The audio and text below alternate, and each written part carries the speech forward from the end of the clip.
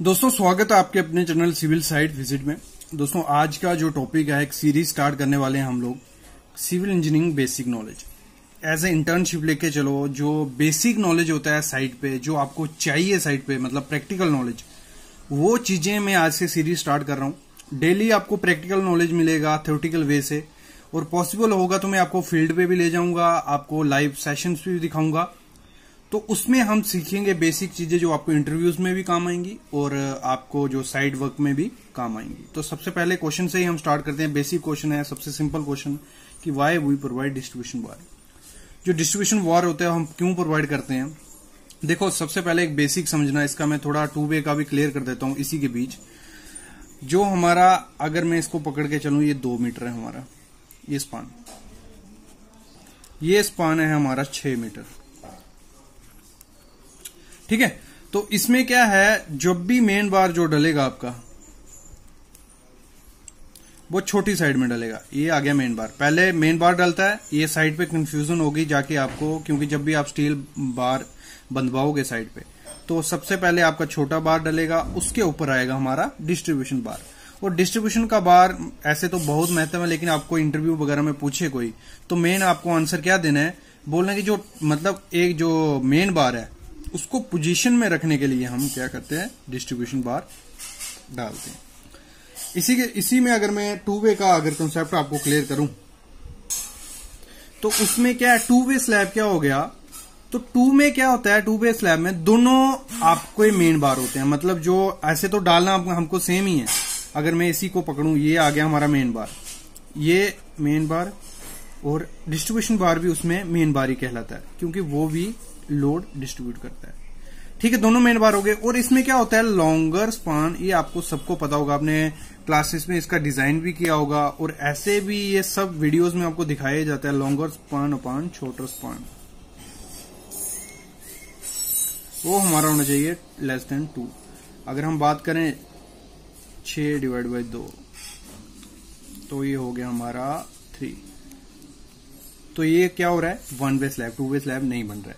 तो वैसे ही होता है आपका मतलब टू वे स्लैब में और क्या चीज़ आपको देखने को मिलेगी? चारों तरफ़ लोड डिस्ट्रीब्यूट होगा। मतलब चारों तरफ़ बीम देखने को मिलेंगे। आपने काफ़ी पिक्स भी देखी होंगी इस चीज़ की।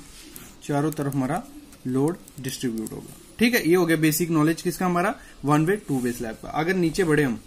अभी आता है वेट ऑफ़ रॉड पर मीटर लेंथ देखो आ, अगर आपने सुना होगा जो ये आती है हमारी 12 मीटर की रॉड आती है। साइड पे स्टैंडर्ड साइज़ मोस्टली 12 मीटर, फिर 10-20 एम mm छोटा बड़ा होता है, लेकिन 12 मीटर की हमें लेंथ मिलती है। अगर हमें इसका वेट निकालना हो जहाँ पूरा बंडल पड़ा हुआ है हमारा इंटरव्यू में क्वेश्चन दे देते हैं, ये आपका बंडल आ गया महाराज, कि आपके एक बंडल है, उसमें हमारा 10 एम mm का 30 नग पड़े हैं। बताओ इसका वेट कितने हैं जो नग पड़े 12 मीटर की लेंथ है उनकी। बताइए। तो इसको निकालना है कैसे? आप कैसे बता सकते हो उसको डायरेक्ट इंटरव्यूर को? 10 इंटू दस हो गया। इंटू बारह metre divide by 162.2 into thirty simple ये फार्मूला आपको डालना मतलब क्या फार्मूला बना हमारा? D square L upon one sixty two point two D हो गया हमारा। जो भी डाया होगा लेंथ जितनी होगी मल्टीप्लाई कर देने जितने नंबर ऑफ़ बार होंगे। तो इससे आप सिंपल बता सकते हो इंटरव्यूअर को और आपको साइड पे जब आप इसका वार वेंडिंग शेड्यूल करोगे बीबीएस बनाओगे या उसकी बिल्डिंग करोगे जब तो ये फार्मूला आपको काफ़ी ज़्यादा काम आने वाला है वहाँ पे, ठीक है? नेक्स्ट अगर बढ़ते हैं हम L for column minimum rod अगर देखो, आपने कॉलम देखा होगा, ऐसे घर पे भी कंस्ट्रक्शन जब करवाते हैं तो जो आपका कॉलम का सरिया होता है वर्टिकल उसके नीचे ऐसे किया होता है एल बनाया होता है।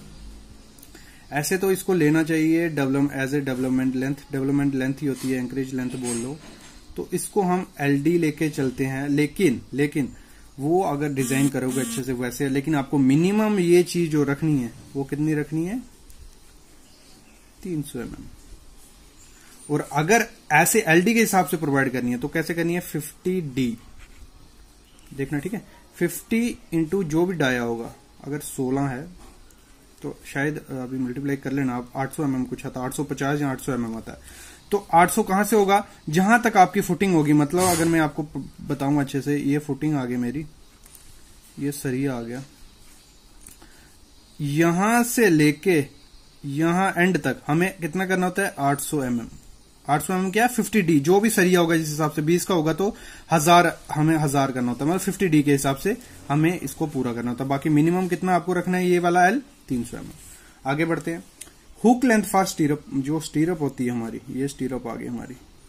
इसकी जो हुक लेंथ होगी, वो कितनी मिनिमम कितनी होती है? नाइनटी ठीक है? ये याद रखना। नाइनटी क्या हो गया? Nine into dia half bar अगर दस एम का है तो 90 एम mm आपकी हुक होनी चाहिए। ये जो हुक होती है 90 एम ठीक है? नेक्स्ट अभी बढ़ते हैं आगे हम। एक कैंटिलीवर बीम है, उसको हमें एंकरेज देनी है। लगाओ, ये हमारा एक बीम हो गया। कैंटिलीवर बीम आ गया, ये कॉलम आ गया हमारा। जो इसकी एंकरेज होगी, ये वार की। ऐसे बाहर जाता है मोस्टली हमारा उसमें कैंटिलीवर बीम में ठीक है?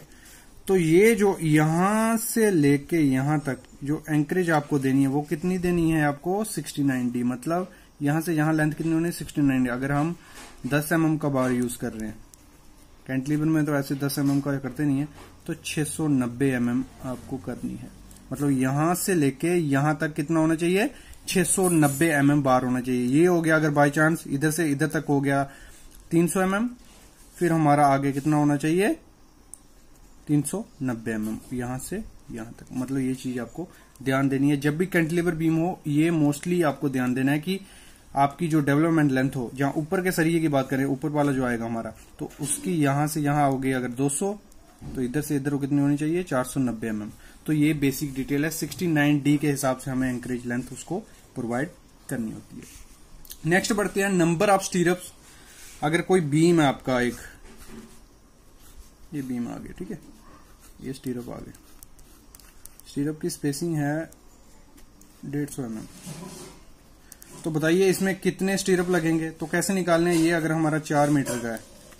फोर थाउज़ेंड चार मीटर का है एम एम कन्वर्ट कर लिया। Divide by one fifty in a plus one ठीक है? इसको डिवाइड करके जो आएगा ना, जो भी वैल्यू आएगी अगर आपकी तो उसमें हमें हमेशा एक ऐड करना है। क्योंकि जब भी हम स्टीरअप डालेंगे उसमें बीम में।